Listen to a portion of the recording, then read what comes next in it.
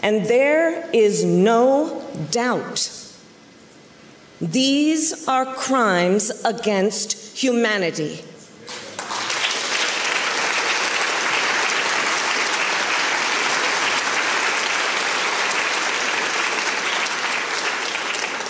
The United States has formally determined that Russia has committed crimes against humanity. And I say to all those who have perpetrated these crimes and to their superiors who are complicit in these crimes, you will be held to account.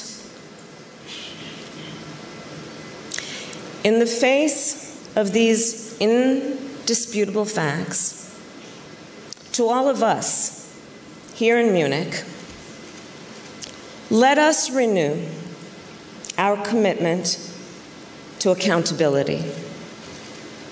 Let us renew our commitment to the rule of law.